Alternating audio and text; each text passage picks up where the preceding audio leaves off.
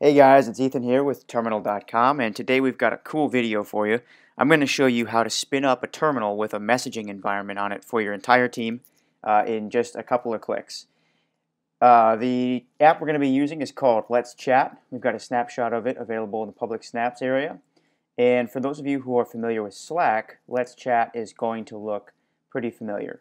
Um, a lot of similar features, similar layout, uh, this is open source and available for free, and you can go ahead and snag it right here on Terminal.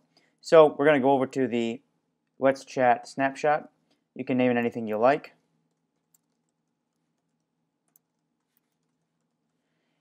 And the important thing is to make sure you turn off auto pause, that way it's always up and running. Go ahead and start your terminal.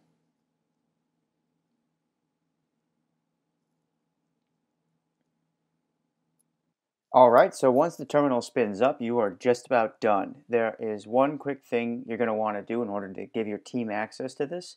Uh, you got to come over here to Share Access and open up port 5000.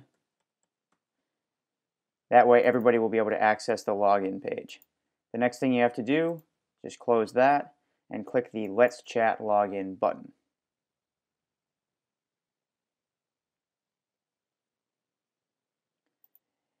You can see here this brings you right to the sign-in page and you can click I need an account where you can set up an account quickly.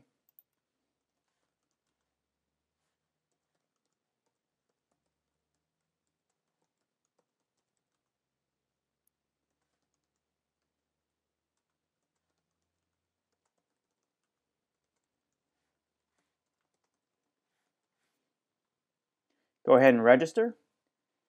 Upon success, it'll ask you to log in. Uh, we'll use the login information we used creating our account.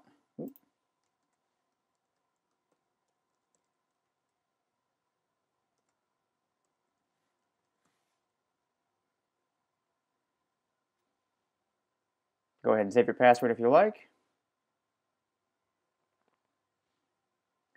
And this is the URL you can share with anybody in order to let them sign up as well.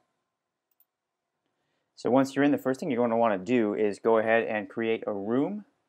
And this is going to be a, an area for people to chat. So we'll just name it Project 1. And uh, give it a description. Our first project. So now anybody who logs in will be able to see this and will be able to uh, post to it.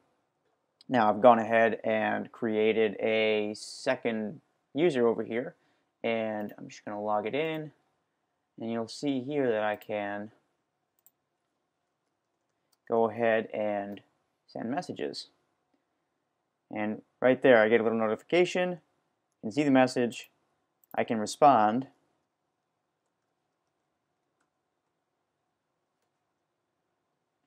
and uh, the whole thing is up and working. So there you have it. It's a fully functional messaging system for your entire team. You can spin them up, delete them. They are backed by Terminal, so they've got the full extensibility of the Terminal system, and it doesn't take more than just a couple of seconds to do the whole thing. Guys, I hope you like this. Get out there, play with it, use it, let us know what you think, and we will see you next time. Thanks for taking a look.